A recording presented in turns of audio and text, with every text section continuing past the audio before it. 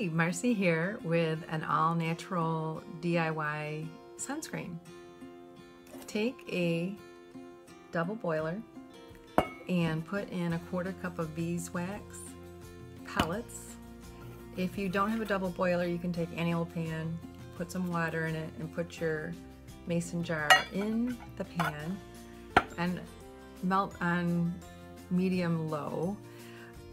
I do the pellets first because they take a while. They take a little bit longer to melt. That's a quarter cup pellets and one quarter cup coconut oil, two tablespoons shea butter, and that's optional. Those are really nice for your skin. Moisturizing. Half a cup of almond oil. The coconut oil and the shea butter have SPF of, I've seen four to six. Um, the almond oil, four to six as well. So melt that, then take it off the stove and add in two tablespoons of zinc non-nano zinc oxide.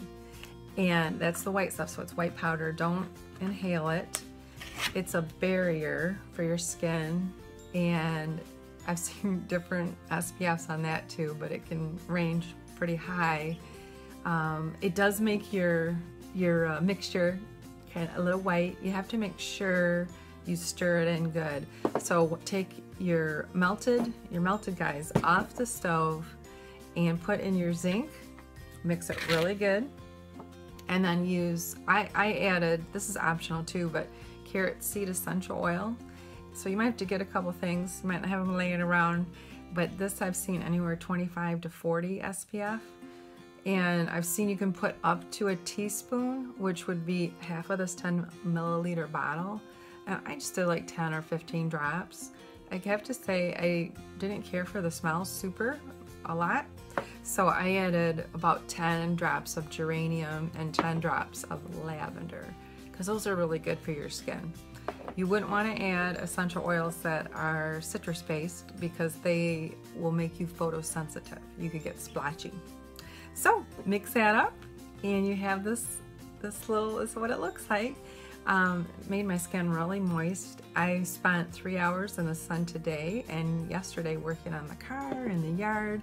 Did not get burnt. I am pretty fair skinned, so without sunscreen I would have been burnt for sure. And it let in some some rays so I could get some color too.